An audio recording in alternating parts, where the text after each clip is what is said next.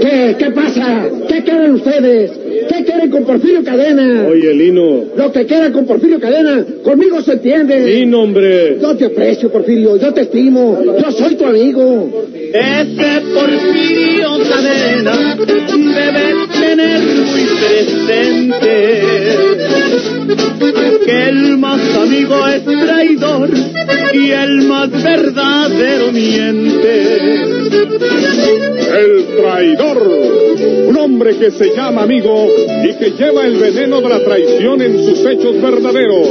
Un falso amigo que espera pacientemente la ocasión para manifestarse como lo que es. Un traidor. En su conducta el traidor tiene también sus colmillos. Cuídate de una traición como de la coralillo. El traidor. Una nueva aventura del valeroso bandido de la tierra del Guajuco, Porfirio Cadena, llamado El Ojo de Vidrio, del escritor norteño Don Rosendo Ocaña. Oye, Eh. vamos hablando yo y tú como la gente, Buitrón. Yo y tú. Vamos entendiéndonos como amigos. Y si ahora no somos amigos, pues eh, yo quiero que lo séllanos en el futuro. ¿Quieres quedarte tú solo con todo ese dinero? Pues, Si encina lo que eres, eh, pues estás en tu perfecto derecho, porque, man, que ese dinero no sea tuyo, tú lo agarrates, eh, tú tuviste el valor suficiente para quedarte con él. Pero pues hombre, si Porfirio Cadena se está muriendo, o ya se moriría, y si son cien mil pesos chulos, óyeme la voz, pues, pues hay dinero para los dos. Tú te llevas cincuenta mil para tu tierra y me dejas los otros cincuenta para Miguel Hidalgo. Y Ancina, como buenos amigos, pues... mire, amigo Antiveros, eh, ahora sí que le voy a hablar a usted con la mera verdad. eh, Y como los hombres. eh, Ese dinero, fíjese nomás, ese dinero sí existe. Existe. Sí, señor, existe. Lo tengo enterrado en un terreno donde nomás yo sé. Hombre. No seas egoísta, Huitrón. Y lo vamos a repartir entre nosotros ambos dos a la par igual que juntos. Válgame, válgame, válgame, Dios de mi vida. Ancina me gustan los amigos. Bueno, vamos para su hacienda. Y mañana mismo nos vamos a encontrar en su casa. Para llevarlo yo hasta donde tengo enterrado ese dinero. Y luego... Oye, oye, oye, oye, oye, oye, oye, pero ¿por qué dices que nos vamos a encontrar mañana en mi hacienda? José.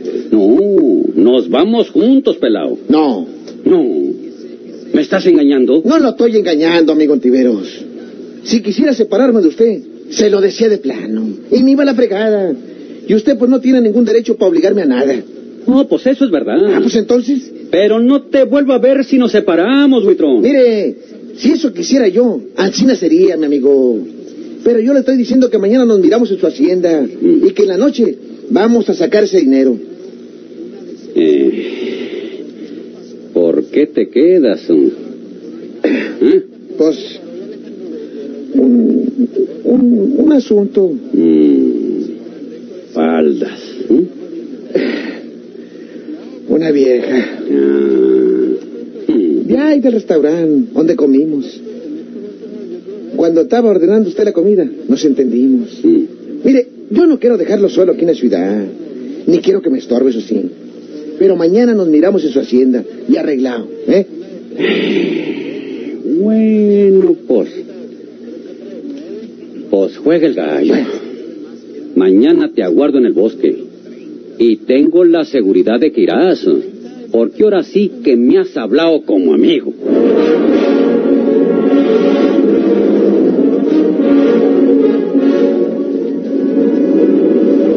Lino Vitrón ya se sentía harto de aquella insistencia de Germán Ontiveros, que forzosamente lo hacía en poder de aquel dinero de aquellos cien mil pesos de Porfirio Cadena, que él nunca tuvo en sus manos, como se cansaba de decírselo al propio Ontiveros.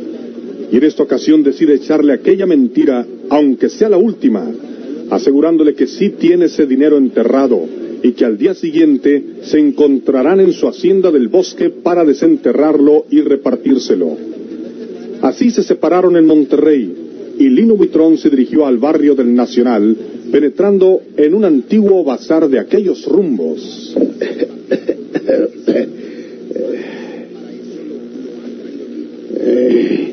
¿Le puedo servir en algo, señor? Pues usted, bueno, sí señor, Eh, este, mire, hace mucho que, que yo tuve por aquí con un amigo, hombre. Sí, señor. Y entonces vi de unas, eh, unas cajitas, unas cosas encina como castañitas, de aquellas que se usaban antes. Ah, mire, como aquella, como aquella que tiene ahí. eh, esa. Ah, a ver, vamos a ver.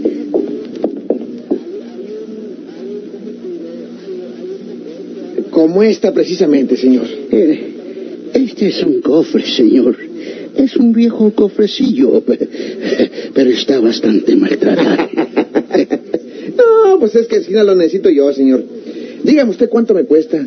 Ah, y me lo pone para llevármelo.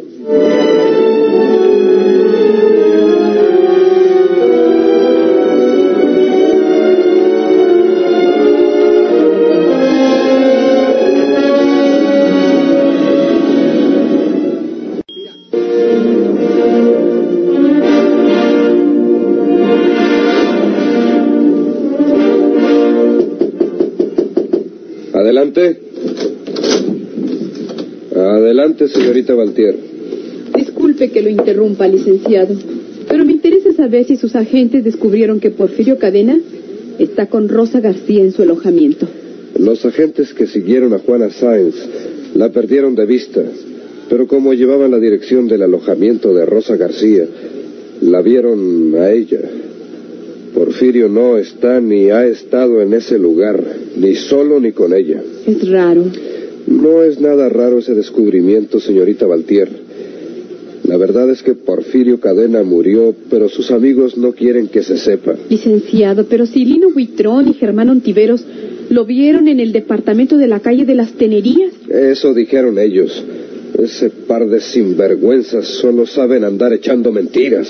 Usted dijo que allí estaban las camas donde habían dormido Porfirio y su hijo Alejandro. Porque me creí de esos bribones. Esas camas deben haber correspondido a Juana Sáenz, que allí había estado antes con toda seguridad, y a alguna otra persona que estaba con ella. Pero la verdad es que Porfirio Cadena murió a consecuencias de la herida que recibió aquella noche, y su hijo Alejandro huyó. Lo que pasa es que quieren seguir asustándonos con el fantasma del ojo de vidrio. ¿Está usted seguro de eso, licenciado? Bueno, una seguridad absoluta no la tengo, desde luego, pero la tendré muy pronto. Seguiremos vigilando a Juana Sáenz y a Rosa García. Y verá usted cómo un día las vamos a sorprender llorando sobre la tumba de ese bandido. Tan grande, así era el desconcierto de la gente del Ministerio Público en el caso de Porfirio Cadena. Los únicos que habían visto vivo a Porfirio en las tenerías eran Lino Buitrón y el viejo Ontiveros, pero ya no les creía el abogado, en vista de todas las mentiras y engaños en que se desarrollaban. Desconcertadamente se refugiaba en la hipótesis de que Porfirio estaba muerto, a consecuencias de la herida que le infirieron aquella noche de la balacera, y en que sus amigos no querían que se confirmara su muerte. Nos están aguardando, manita. Sí, ¿O tienes miedo de que te mire Porfirio? miedo no. Yo no le tengo miedo a Naiden. Pues, vamos, porque él te está guardando. Dijo Alejandro que le iba a decir que ahí íbamos. Sí. Nomás quiero hablar unas palabras contigo. Aquí solas, Juana. Quiero que vayas al potrero a ver cómo taqueo y que te pases al yerbaniza con Carmela, mi media hermana. Tú ya la conoces, Sí, no nos quiere bien. Pero te quedará a ti cuando le digas que deje aquel mugroso jacal del yerbaniza y que se venga a vivir al potrero para que entre las dos vivan de todo aquello. Pero, oh, Tú sigues en tu casa, donde vivites con Abel, y Carmela que se venga a la mía. ¿y tú? No creo que Porfirio quiera vivir en esos ranchos, Juana. Siempre ha dicho que nos vamos para otras tierras. Yo estaba creyendo que, que Ancina como estás, te gustaría vivir en el potrero sola en tu casa, hasta que Dios te diera licencia. Ya oíste lo que dijo Alejandro. Porfirio me quiere. Aunque esté como esté. Yo creo que él ya le dijo cómo estoy y que Porfirio le dijo que me quiere de como esté. Pues, oh, Hablas con Carmela y le dices que yo me voy por otro lado y que creo que y tú se queden ahí en el potrero. Déjame darte unos centavos. Aquí traigo en el bolso. pues, dame nomás para el pasaje, manita. Pues eh, si no creías que traigo tanto, este dinero me lo emprestó la señora de la casa de huéspedes. Le voy a decir a Porfirio para que se lo pague. ¿Para qué traes esa pistola, manita? Tampoco es mía. Me la dejó en mi cuarto la misma señora de la casa de huéspedes por aquello de que la fuera a necesitar. Se la daré a Porfirio para que se la devuelva. Toma, este billete para tus gastos. ¿eh? Está bueno, manita. Y que mi media hermana Carmela no te vaya a salir con que no quiere nada de mí, porque así es de orgullosa la condenada. Le dices ¿eh? que yo quiero que se vaya a vivir al potrero y que, ay, de a si vuelvo un día y no la encuentro contigo. Está bueno. Ah, vamos, porque te están aguardando. Sí, vamos. Parece que vas temblando, mujer. ¿Cómo me veo con los lentes negros? Pues bien. Con los lentes y con la gasa esa que te pones debajo, no se mira nada. ¿Y a poco crees siempre voy a estar con Porfirio teniendo la cara tapada encima? Eh, Sabrá que me fregaron el ojo. Pues yo creo que no. No, Pues solo que Alejandro se lo haya dicho ahorita. ¿Para qué te apuras tanto? ¿Qué te dijo el mismo Alejandro? Aunque te ves como estés, Porfirio te quiere y te tiene mucha gratitud. eso no es suficiente. Lo que te pasó en ese lado de la cara te quita lo bonito que eres, Rosa. ¿Quién sabe?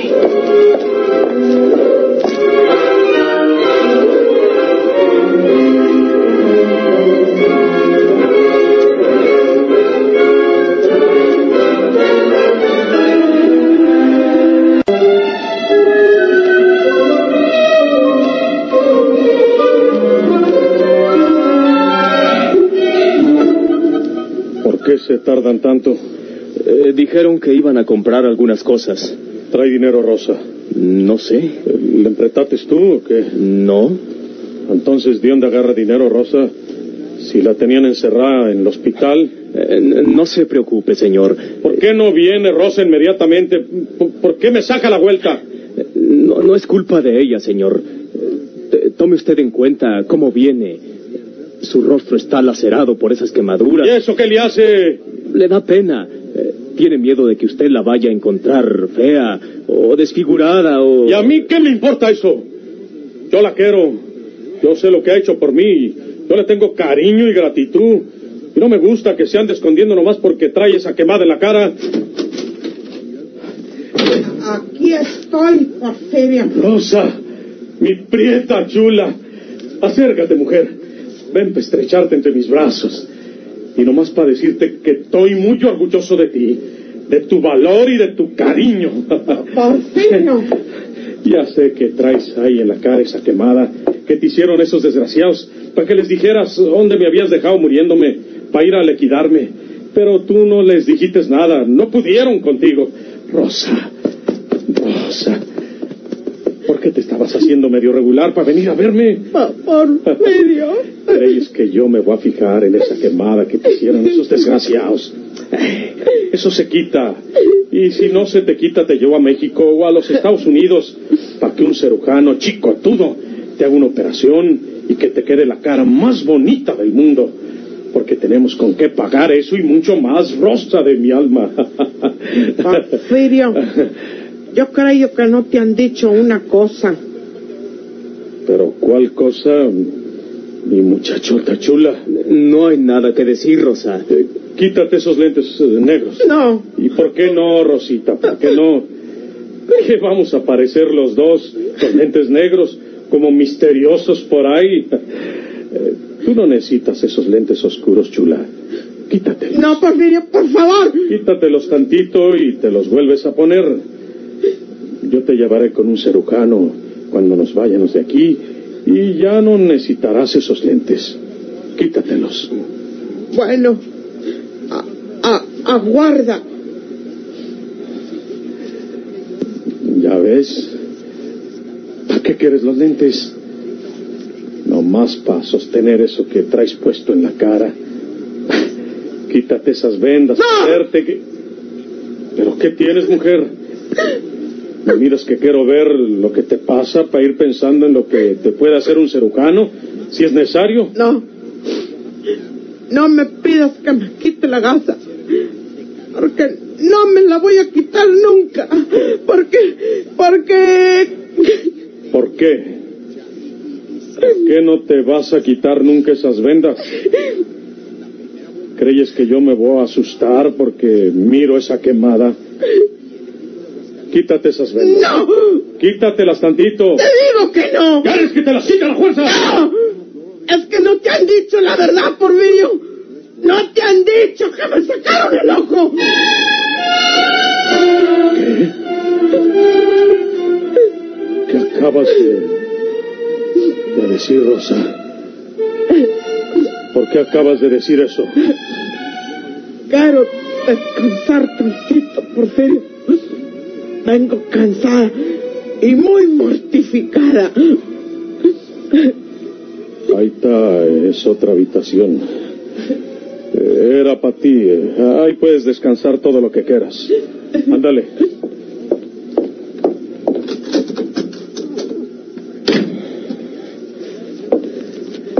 Señor, es verdad eso, mijo. Es verdad que le sacaron un ojo a Rosa como a lo dijo ahorita. Sí, señor. ¿Y por qué no me lo habías dicho, hombre? Yo estaba creyendo lo que al principio me dijo Juana, que era una quemada que tenía en la cara, pero no más. Cuando tratamos esto, usted me dijo, señor, que la quiere mucho, que le debe la vida y, y le tiene una gratitud inmensa. Y que, que como quiera que estuviera, usted la quería. Por eso, pues... Pero lo del ojo es otra cosa, amigo. ¿Por qué? Porque me pone en ridículo. ¿Qué te parece que Rosa viviera conmigo por ahí en otras tierras?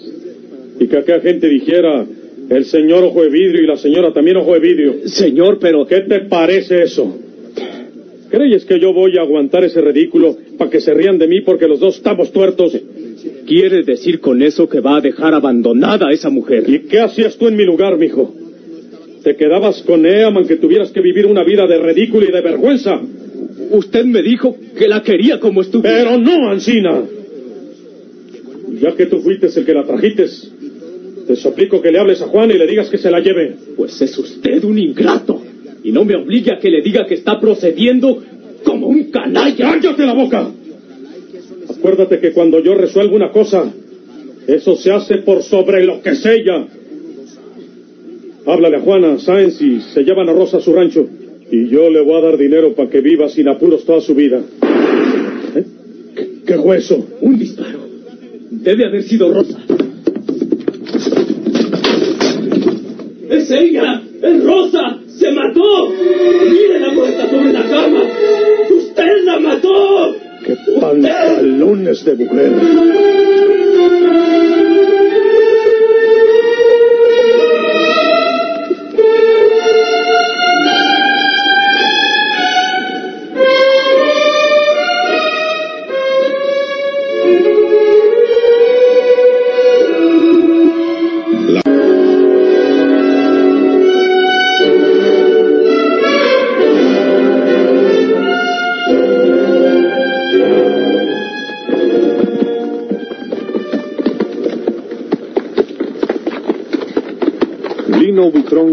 Cabalgadura en el mesón de la villa y aquella noche se internaba en aquellos montes de la falda de la sierra. Solo él sabía su cuento.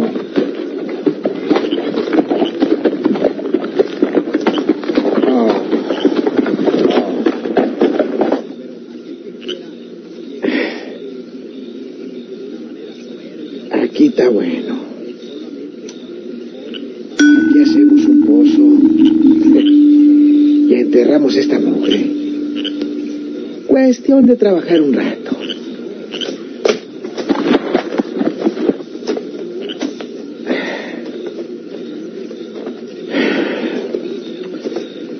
A ver si está fuerte el candado este. Eh, está bueno. A ver si da los resultados que yo quiero.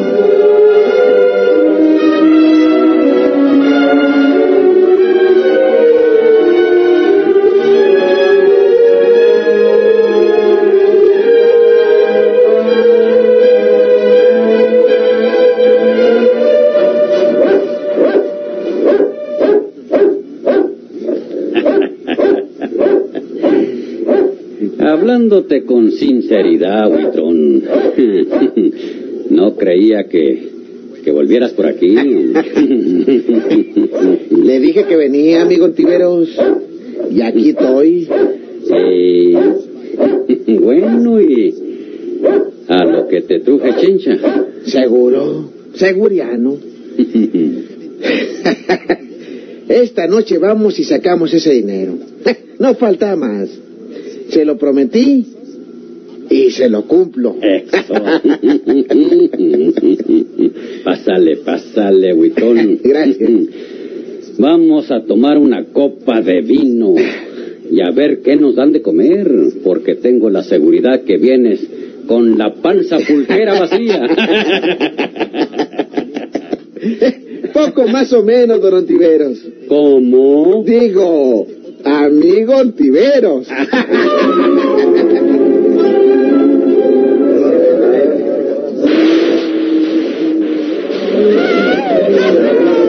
¡Viva Porfirio Cadena! Cálmate, Lino. Yo estoy contigo, Porfirio. Yo te aprecio. Soy tu amigo. Ese Porfirio Cadena presente que el más amigo es traidor y el más verdadero miente.